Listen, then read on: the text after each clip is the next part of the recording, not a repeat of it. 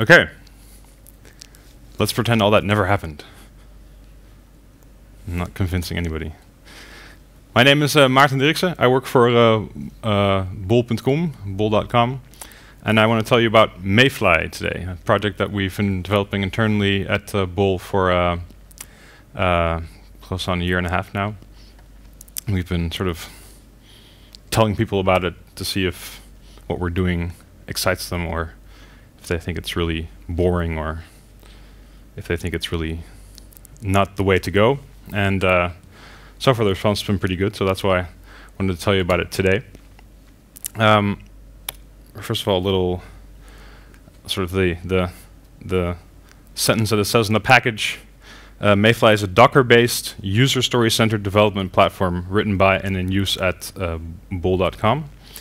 What all that means, I will explain in a moment. First, I'm going to give you a little bit of background, or rather, tell you what, what I'm going to talk about. A bit of background. Why did we develop this platform? What does it do for us? What problems does it solve?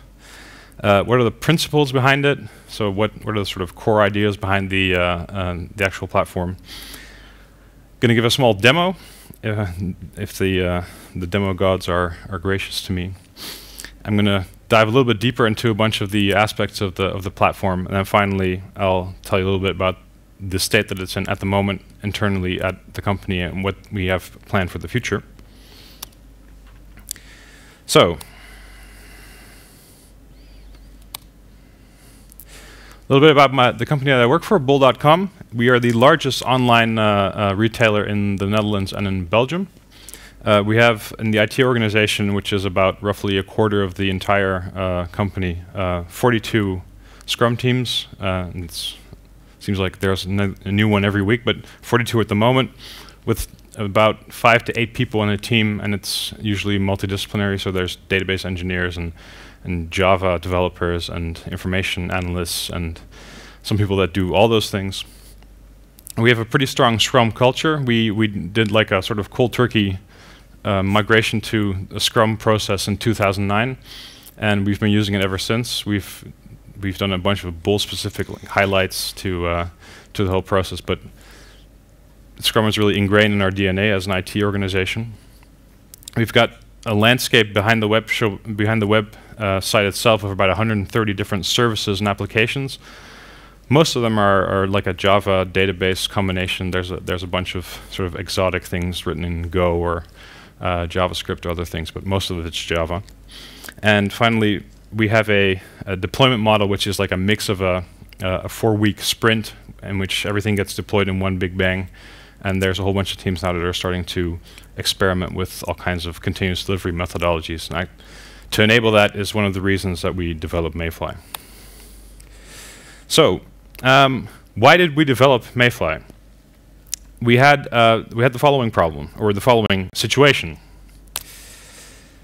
We have uh, four teams, let's say, and they're all developing their user stories.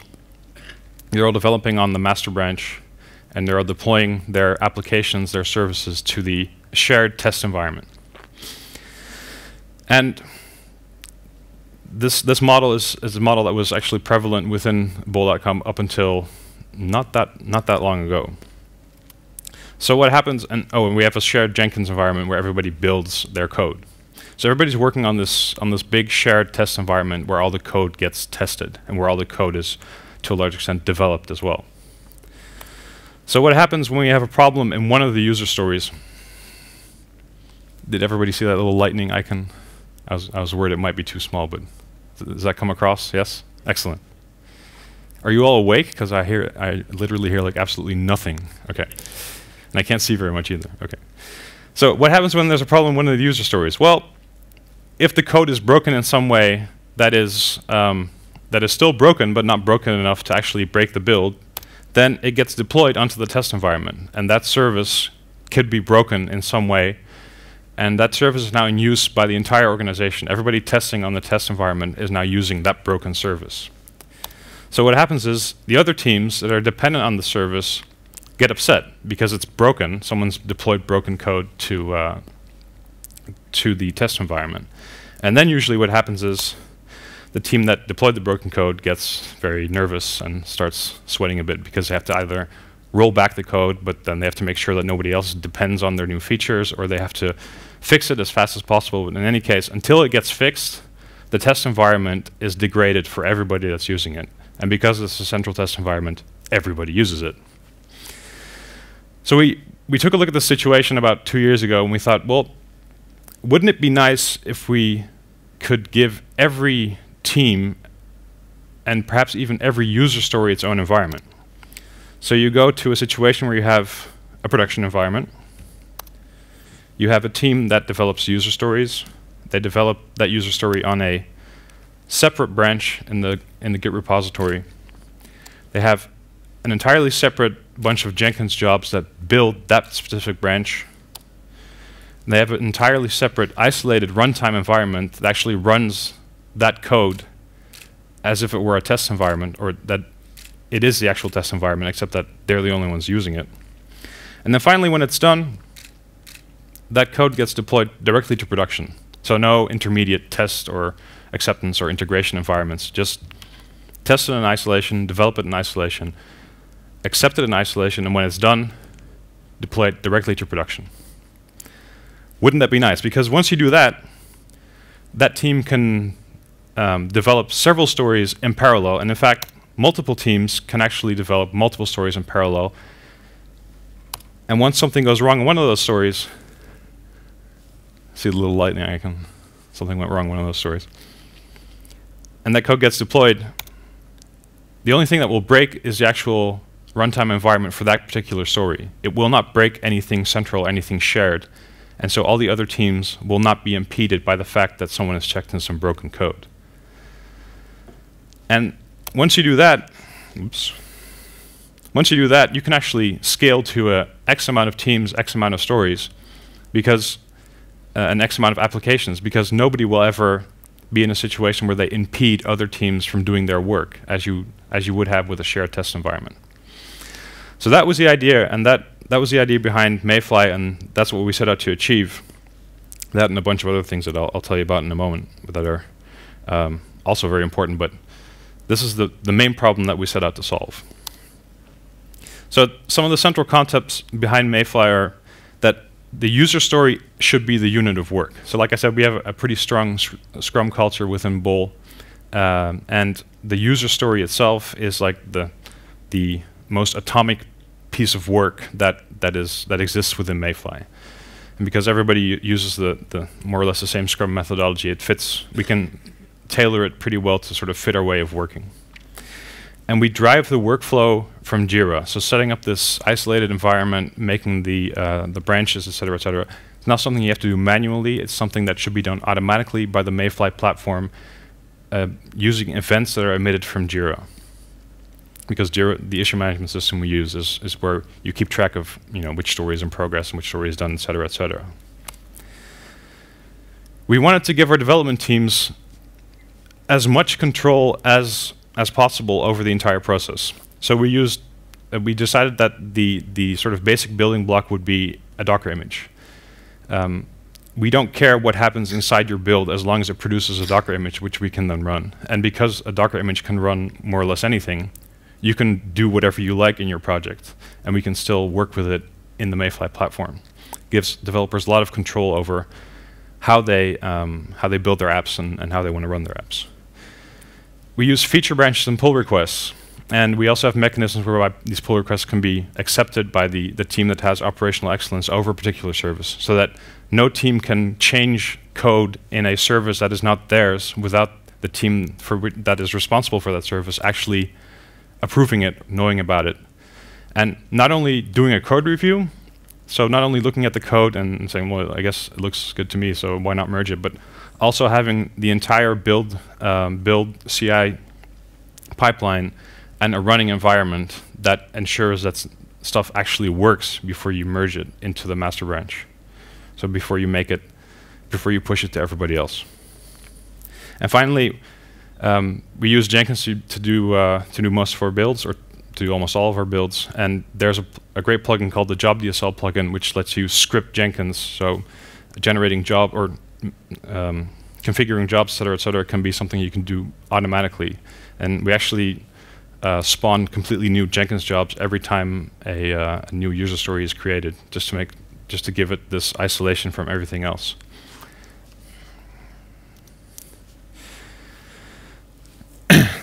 give every user story an independent runtime environment for developing, testing, and acceptance. So that's really important. Everything that you do on a user story, so when you when you start a new user story on an application, you should have your own runtime environment where that version of the application is running, that you can test, that you can access, that you can run your automated tests against, and that you can even go to the business and say, hey, this feature, I've developed this feature on this uh, environment here, could you please go there, check that it's to your liking, and then accept it so that we can take it to production. That's obviously a challenge because we don't want to stand up the entire bol.com landscape for every single user story. That would be prohibitively expensive in terms of resources. So there's some tricks that we did to, to make that work. And done, as in the Scrum definition of done, like a story is done when it um, when it uh, satisfies a bunch of requirements, should mean that it's ready to go directly to directly to production. So there shouldn't be any sort of intermediate environments that it first has to pass through. No, like performance testing should have to be done. No other kind of testing on some separate environment where a whole bunch of stories are aggregated. No, done means deploy it. So this is what Mayfly does. Per user story, you get a feature branch in source control, and currently we use uh, Git and we use Stash as a, a repository manager. You get a continuous integration environment, which is just a bunch of jobs uh, in Jenkins that are generated for you according to your own job DSL uh, specification. You get an isolated production-like runtime environment, which is essentially a Docker cluster running your application. And then uh, you get an automated definition of done check. So definition of done is a, is a Scrum principle, which is uh, essentially a list of uh, requirements you have to satisfy before a story can be considered done. And I don't know how many of you actually use Scrum in your day-to-day -day work, but you might recognize the phenomenon where you get together, have a meeting, you define your definition of done, and you feel really good about yourself, and then you put it in a drawer somewhere, put it on a wiki page somewhere, and then six months later you think to yourself, damn, we had a definition of done, we should really update that thing. And you never look at it in the meantime. Um, that's the experience of a whole bunch of teams within Bol, and we wanted to give people a, uh, we wanted to give the teams a way to actually programmatically define the bunch, the requirements that have to be satisfied for a story to be done, and then have the platform check those for every commit that gets done in a particular story.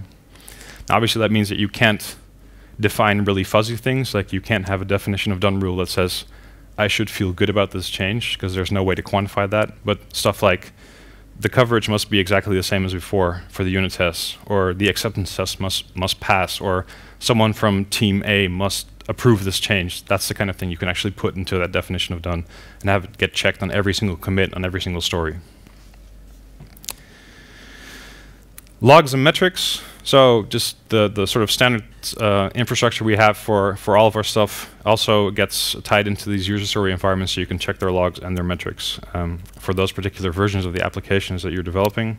And finally, an optional per user story database that gets provisioned along with the actual user story specific uh, service that you can use for testing or just running your application. Okay, demo time. Um,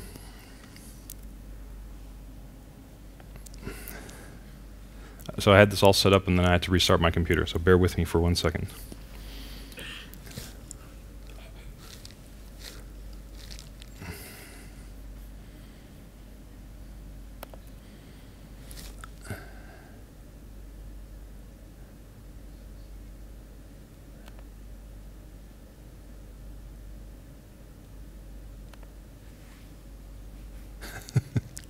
That does not bode well. One second.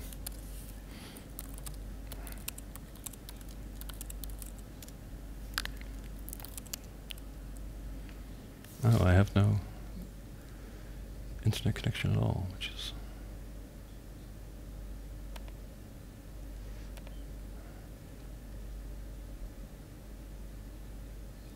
So what I'm going to show you is uh, I'm going to develop a story on a test project that we have that we used for occasions like this. And I'm going to run through the entire cycle of um, spinning up the, the, user story specific environment, and then developing the story, um, making some changes in the code, seeing that it gets deployed to the environment, and then uh, actually merging it back to production, or in this case, not actual production as in the bol.com website, but production for this test project.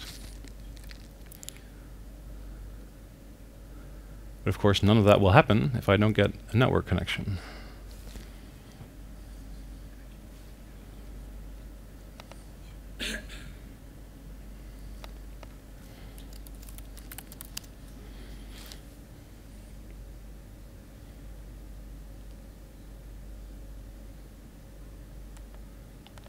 You might wonder why I'm looking up there instead of down here, because that part of the screen is not actually on this screen.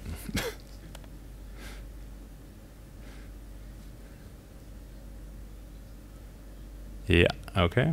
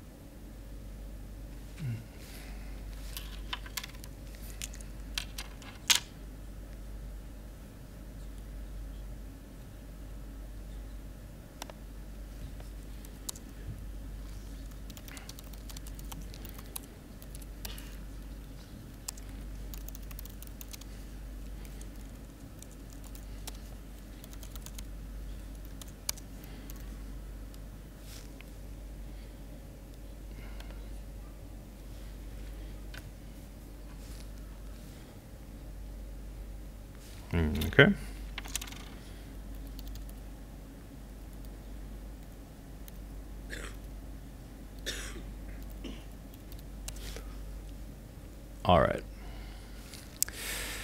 So we go to Jira. Oh, now I can actually look here again. And we go to the project that we're going to um, actually modify. So I'm gonna, I'll just increase the size of this just a bit so it's easier to see. So the first thing we do, like I said, the whole thing is tied into the Jira workflows. So the first thing we have to do is create an issue. So we're going to create a, a, user story because, like I said, the whole thing is user story based. Devoxx demo. And then we actually created a plugin for Jira to to give us a bunch of added functionality that helps with instructing the Mayfly platform as a um, which source control repository should be used for a particular story. And in this case, it's the uh, it's this little CD application field right here, where I will choose the uh, the demo uh, project and then create the issue. So we take a look at the issue, and then the other thing we did with the with the plugin is provide a bunch of actual extra panels uh, in the in the actual uh, user story or in the actual issue uh, view. So we have here uh, assets, which is empty because we don't actually create any assets like a, a runtime environment or Jenkins jobs for user story unless it goes uh, into the to-do stage instead of the instead of, or unless it goes into in progress instead of to-do rather. And then we have the definition of done, which it uh, which it gets from the uh, the master, which already has a definition of done defined. And in this case, there's a whole bunch of unknowns because we haven't yet run any builds or there's no environment up and running. So it, the only thing that it knows is that the the feature as now, because we haven't actually made any changes yet, is up to date with the master. All right, so we start progress. And that'll actually trigger the Mayfly platform to, to provision a whole bunch of these resources, which will appear in a moment. And in the meantime, I will show you. Oops.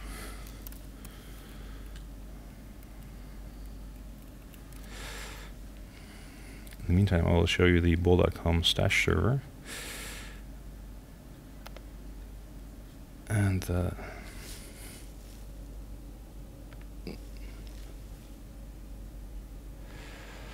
So this is the repository for the um, um, for the project.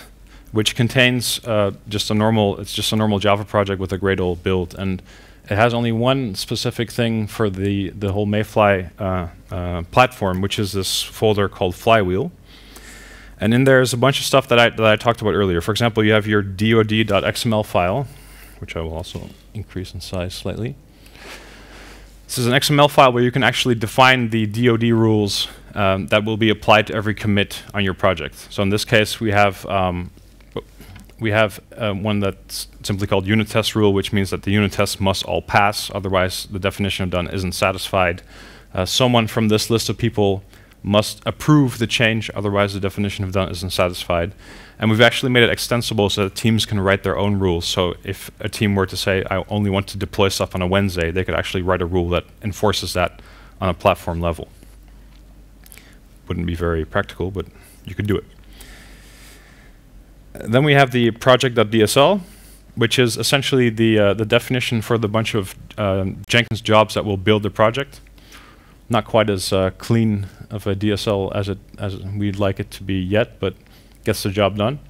So if you're familiar with the job DSL uh, plugin, this is just a basic job DSL Groovy file or Groovy code rather. And then finally, we have the service descriptor, and the service descriptor actually contains things like, you know, what's the project called? How many resources should it get when it gets deployed to the cluster? Um, should we a uh, should we deploy a database alongside the project so that it can use the database? Different configuration things that um, uh, that we need in order to actually uh, deploy to the cluster effectively, so you can use the project to do useful work. So now, if we go back to the um, if we go back if we go back to the Assets tab here, you'll see that a whole bunch of assets appeared. And uh, for example, the logging asset is just a link to our internal logging uh, infrastructure where the logs from this particular user story environment end up. Uh, the branch is a, a link to stash to the particular branch that's been created specifically for this user story. The pipeline asset is a link to the Jenkins jobs. And finally, we have the um, the application, which is uh, a link to the actual running instance of the application for this user story. So let's take a look at those things real quick. So the stash um, branch is uh, the branch is actually called the same thing as the use as the uh, issue key in Jira. That's what we use to correlate all the different pieces of information. So this, right now there's no there's no difference between the, uh, the, the branch and the master because we haven't done anything yet. The pipeline has also been created. It's on a three Jenkins jobs, which of which the build job is the actual one that will build the uh, build the project when we do a commit. So it's like your normal CI workflow. You do a commit, the system notices, does a build, pushes the new artifact, which in this case is a Docker image. And then finally, we have the actual uh, application running here. So the application itself, and I should warn you, you have to brace yourselves because it's quite something to behold.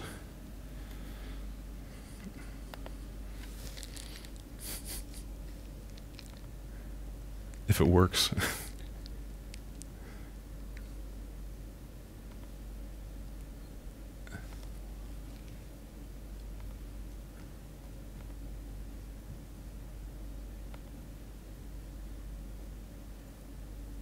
Oops.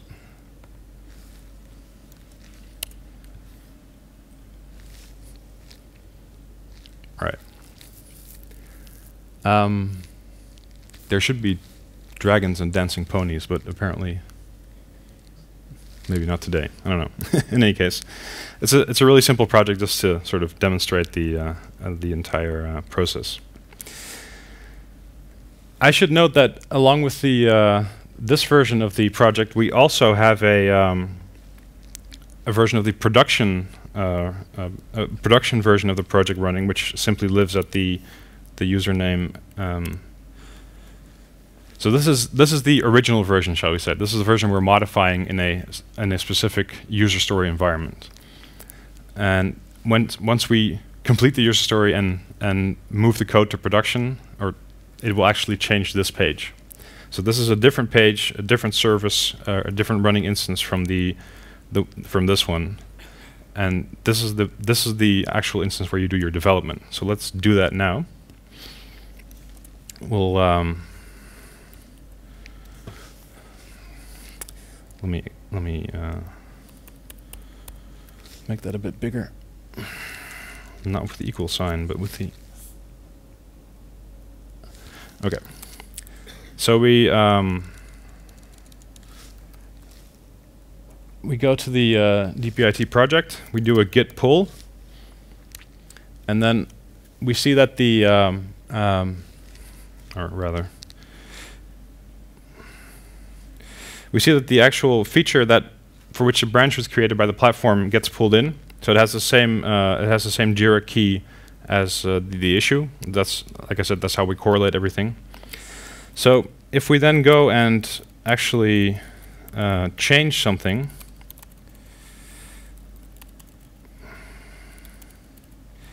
and in this case we'll change just the the index page, and we'll change it from the uh,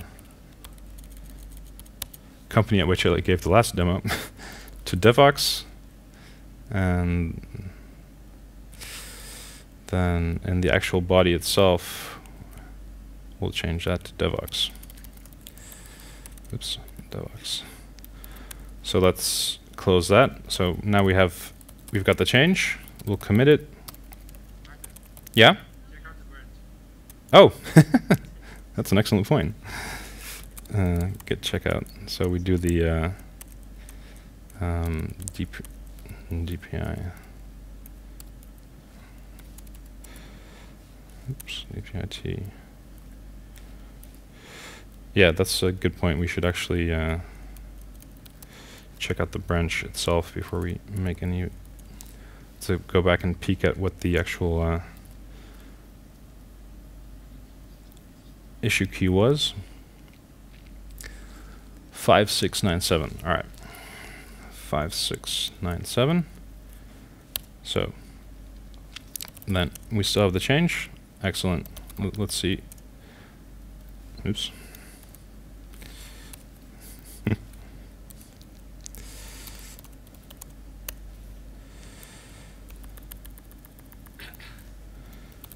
Like I said,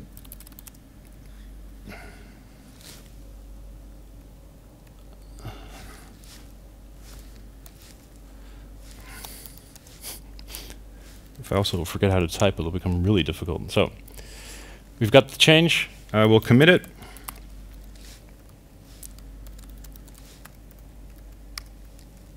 So, and then we'll push it.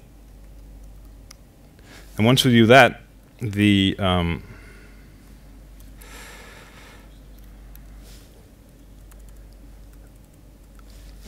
the build job will kick in and we'll actually start a new build. So you can see from the logs here, it's just a, a normal Gradle build um, with one uh, added thing, and that at the end of the entire build, it actually produces a, uh, or it builds a new Docker image, which it then pushes to the internal registry, which then gets deployed. And that's it's just a simple uh, sort of Docker extension to Gradle that we that we coded up, which is it's pretty easy to do. And you can see here that actually makes a new uh, Docker image and we'll then push it out to the registry, at which point uh, this, the platform will deploy it to the uh, user story environment.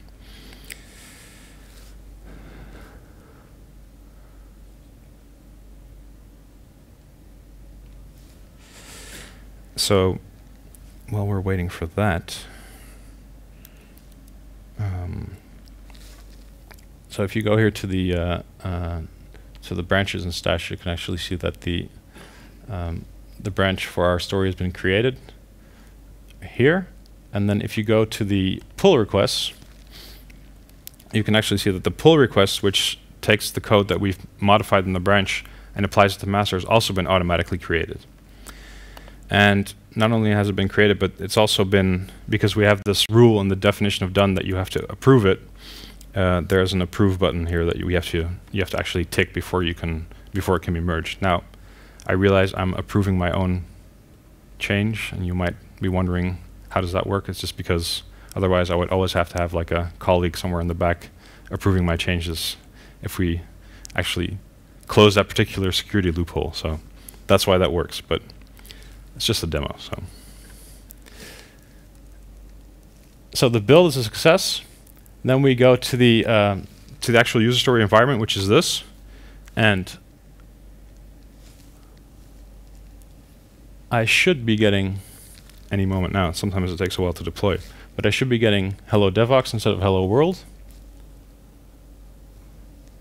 And you can actually see because the um, the actual deploy is done by Marathon. Oops.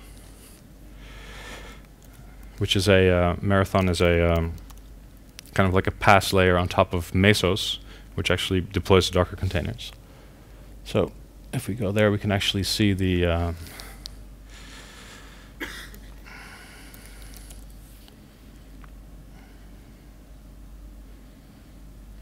the myriad of DPIT containers being being deployed, but this is ours, so it should be finished. Ah, here we go. Okay, we've now changed the user story environment and seen that it deploys, it works, everything is cool. Now we go we go back to the uh, the Jira issue.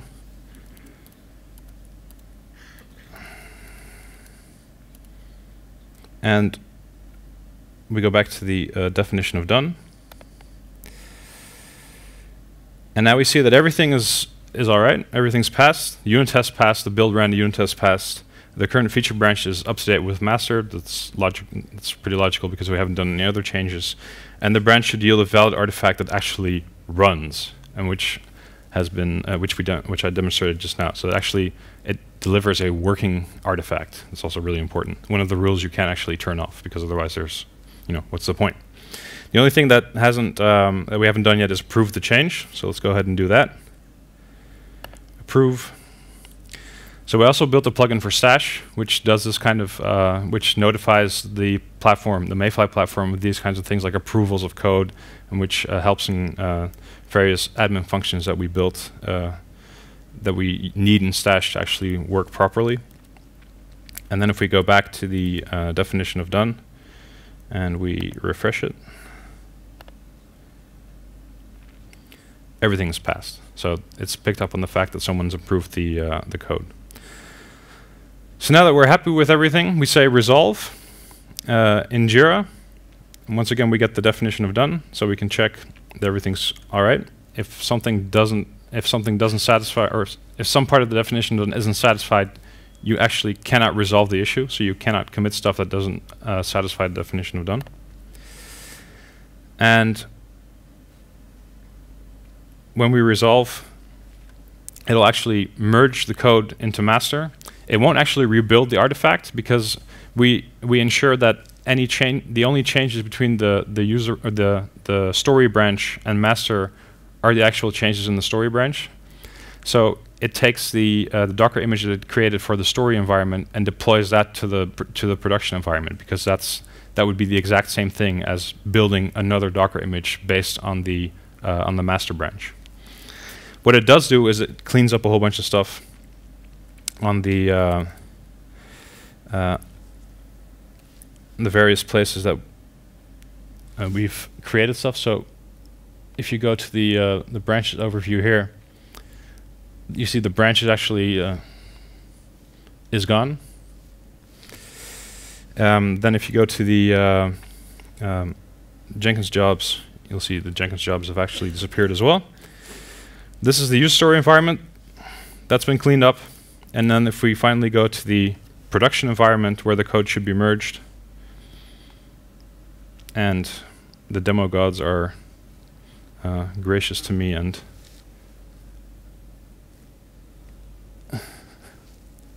took a while on the on the user story environment as well. So there we go. Right, so that's the entire life cycle. You know, I always feel so ambivalent about when people clap about that, when people clap when I show this, because on the one hand, it's nice to get some sort of recognition for the fact your demo works. But the other hand, it's like you set the bar so low. Like I'm here to show you something, and then it actually, what I'm what I want to show you works, and then you clap as if you were expecting them not to work, kind of. I don't know. It gives me really ambivalent feelings about the whole thing, but I I, I enjoy the applause nonetheless. All right. So I just showed you the entire life cycle of a story. We get a separate uh, separate isolated container containerized environment where you can actually do your development. You can also do your acceptance. You can say to your business, uh, to your product owner, hey, look, it says DevOps now. Is that cool? Yes, that's cool. Okay, so we can deploy it to production everything separate for that user story alone, which is exactly what we set out to do. So I will um, I will reload this presentation because I didn't have internet apparently.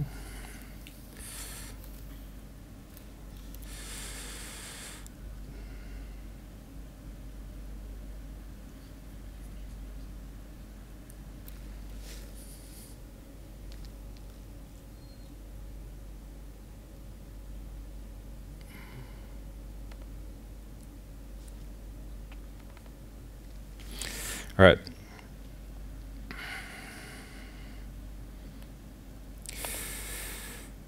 So I'm going to tell you a little bit more about the architecture.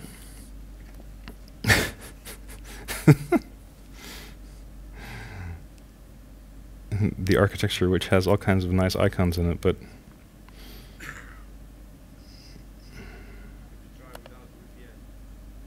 Ah, that's a good point. Yeah, let's try that.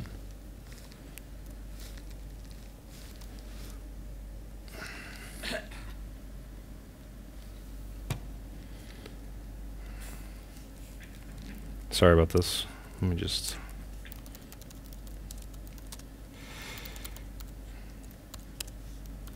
Never install Linux on your Mac. Only leads to problems.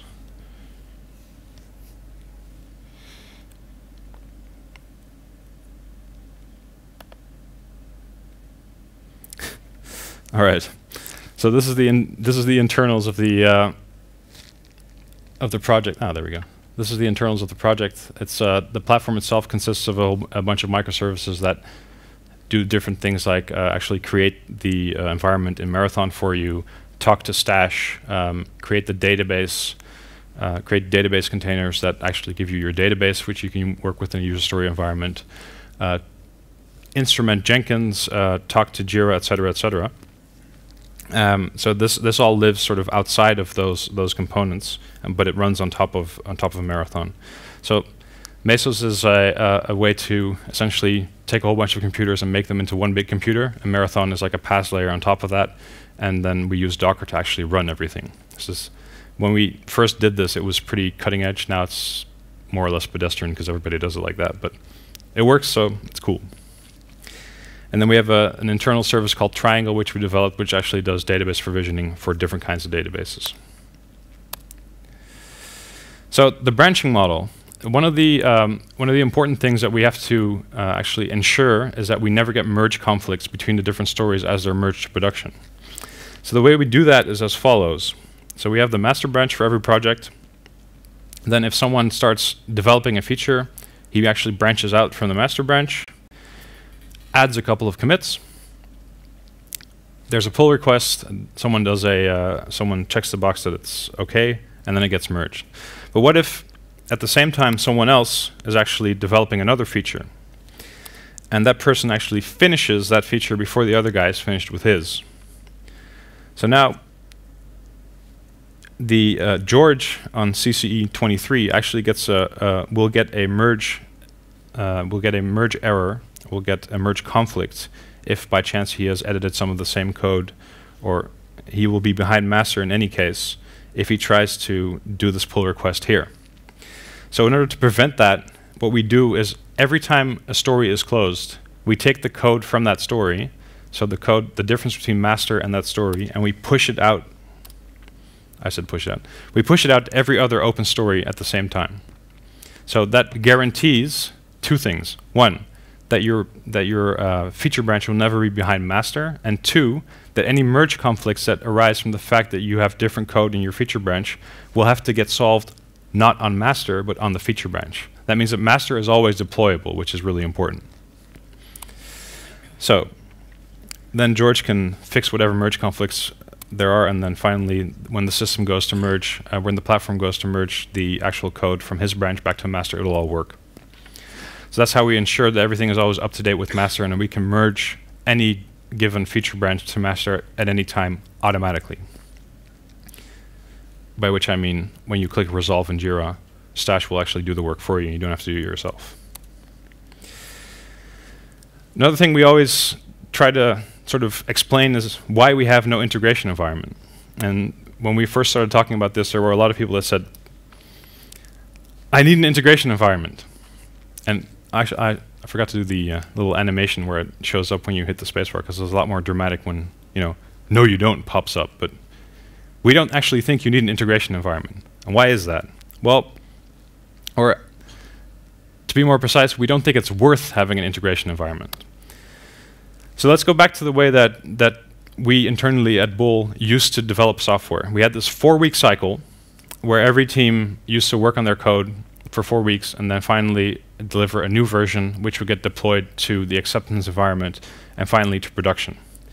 So if you look really carefully, it's like the most subtle animation or subtle change in slides ever, but you can actually see the versions running through from dev to production.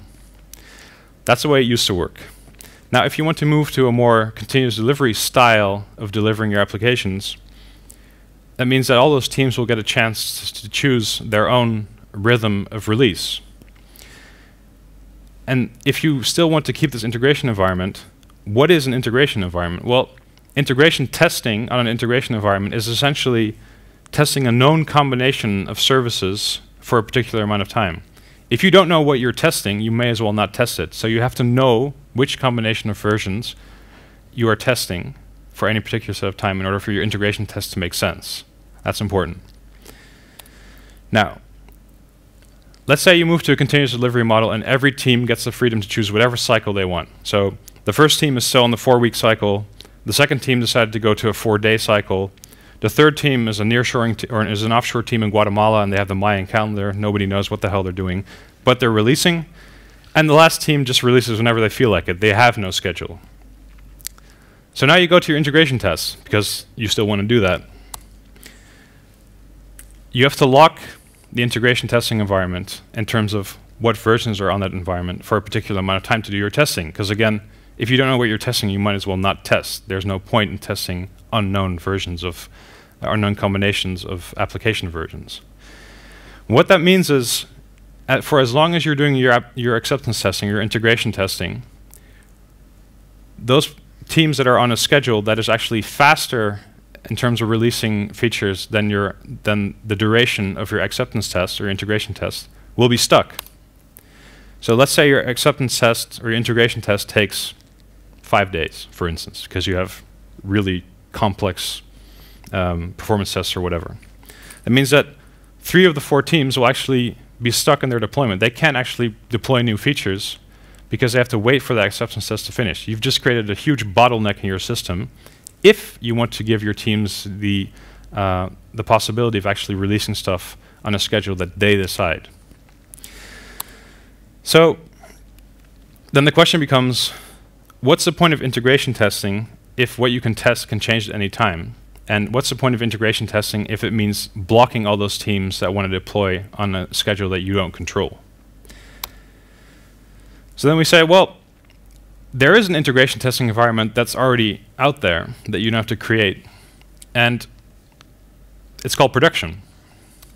And it's really cool because it has all this production-like load and production-like data.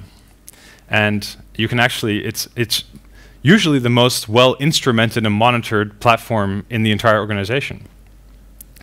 So what we what we uh, decided to do with Mayfly and and getting rid of the integration testing environment is to say, okay, if you define if you have the service oriented architecture with well defined um, interfaces between the different components, then we think it is worth the risk of occasionally finding bugs in production, which to be honest we you do anyway and we do as well in order to get this extra speed for those teams that want to release at their own pace and not do this integration testing step.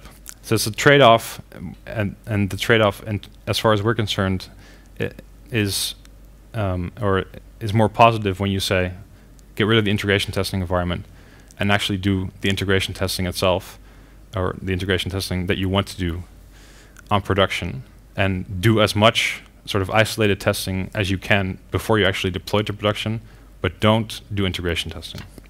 Does that make sense? Yes? No? Yeah.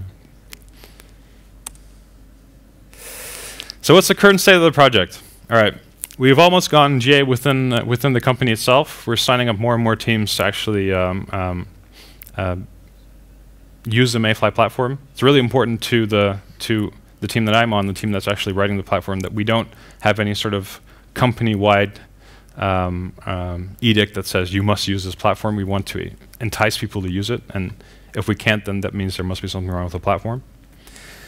We have really robust support for Java services and uh, their databases. Now, you might say, well, it's just a Docker container that comes out of the build. Why is the support for Java more robust than other things? It's because of the Gradle plugin and the, the integration we have with that. It's just easier to do a Java project than it is to do a, Ruby project, for instance. Although Ruby project shouldn't be that much harder. It's used by 12 teams internally, and obviously uh, we, uh, the team that's developing Mayfly, use it as well to actually uh, develop the services that make up the platform. So the future, better monitoring and alerting of the platform itself. And uh, to this end, we're, we're pretty far along in sort of um, doing a proof of concept of a tool called Prometheus, which is a, a really nice new monitoring tool uh, built by the guys at SoundCloud. Better service discovery support. Right now we use Consul to sort of wire services together, but we don't use it to the uh, full extent that we actually should. So um, there's more work to be done in that, uh, in that respect. Multiple applications per story environment. Right now, if you launch a story environment, you get one application, the one you're working on. We want to make it possible for people to actually launch two applications and do the entire orchestration thing with the source control management, et cetera, et cetera, with two applications simultaneously for those uh, those occasions in which you actually need to develop a feature which has so much code in both services that you actually need to coordinate that a little bit better than just developing one part and then developing the other in sequence. Actually deploy from Mayfly to production. So the platform itself, the endpoint right now is the, uh, the our own test platform, which is uh, which is still good because that means the test platform gets a lot more stable than it used to be when everybody was developing directly on the test platform. But we actually want to deploy from Mayfly directly to production. But that has all sorts of other problems, like actually getting the operations guys to support Docker in production, et cetera, et cetera. And finally, we want to open source it. You might have been thinking this is all well and good, but what the hell does this have to do with me? Well, we're going to open source it so you can use it too. I used to I used to promise like we're going to open source it by the end of this year, but I yeah, I can't really promise that anymore. The only thing I can promise is that we will open source it, and it won't take a year, I hope. um, that's it. Um, there's a there's two websites you can check out. The the Mayfly CD website is actual information about the project itself. The the the information that we've uh, uh, published, a couple of presentations that we've given before. And then there's the, the bol.com GitHub account, which has a bunch of other projects as well. And because we paid for this presentation, I should say, we're hiring. If you want to come work for us, work on stuff like this, uh, please see me or come to our booth uh, uh, later. All right. Any questions? Yes.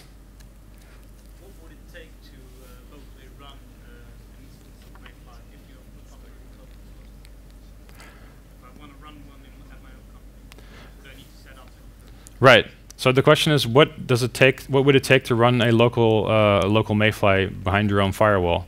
Uh, it's essentially um, the the uh, the architecture uh, slide I showed earlier is essentially you need a Mesos cluster, you need Marathon running on top of that, and you need Consul, and that's it.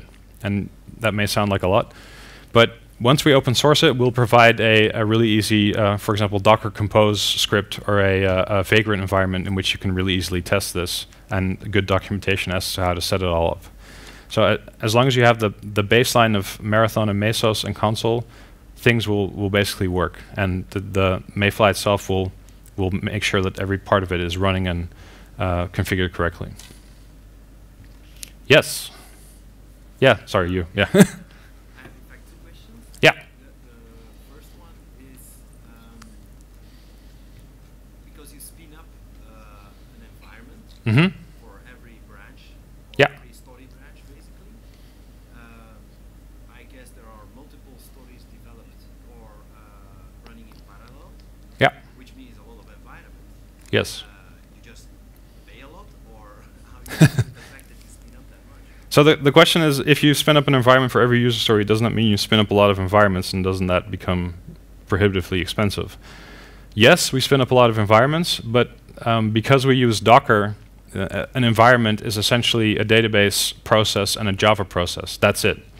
And um, so you could you could I guess do the same thing with VMs, but that would become really resource heavy. But that's exactly why we chose to use Docker because it's Docker is nothing but a, a sort of wrapper around a, a, process at the OS level.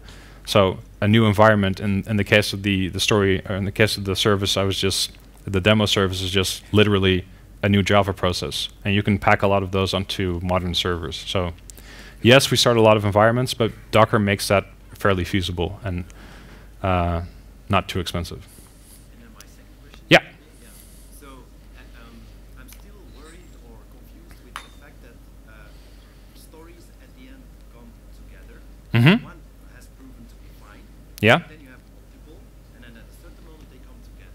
Right. Well, well, they, they, they could clash or whatever. So we should have very good means to test end to end whether something is broken. I mean, Yeah. conflicts you you see immediately, things you cannot build you see immediately, but stuff that's running but maybe not good, you, you and certainly if you push it directly to production, that that's tricky. Yeah. So the question is, if you have a lot of stories being developed concurrently, then um, and you have the code being merged into the different story environments, there or n- code being merged into master and back out to the stories, you should have a a good way of seeing that nothing is broken, apart from just the stuff compiles and that uh, that it, it that deploys exactly. That's that's absolutely true and this ties into the whole um, integration testing on production um, that I talked about earlier. You have to have a pretty comprehensive suite of, of tests on the API level, on the functional level for your service that should pass before you actually mark your story as resolved. So that's the whole sort of Amazon way of development. Like everything, every service is uh, every service has has just an API that it publishes to the outside world, and every other service within your company should be treated like an external API that's the kind of um, yeah the kind of model you should adopt if you want to use this, because exactly ex precisely because we're going directly to production, the guarantees that you want from from your user story environment should be a lot more or a lot uh, uh, more precise rather than the ones that you get from the test environment if you know that you're still going to integration. So that's part of the trade-off of dumping the integration environment and going directly to production, that you have to have a pretty comprehensive suite of tests uh, to actually test your service before it goes to production. If these APIs are moving in versions, and one story is still using a older version, while another one Yeah. is using another version, Right. then it, it breaks. It breaks unless you have what we have uh, internally, which is a rule that you must support uh, one major version backwards compatibility for at least six months. So you have to work around it, but we think so. You have to. There's a whole bunch of stuff you have to do also on an organizational level in order to to get like the full benefits of this model. But once you do that, it becomes pretty powerful, and it's so. I'm convinced that if you if you want to have a, a large scale software deployment of something like the bol.com web shop, which has 130 plus services, you're pretty much going to be forced to move to that model anyways, because otherwise it just won't scale within your IT organization. And Mayfly is just a way to Mayfly supports that model fairly well. All right, anybody else? Okay, thank you.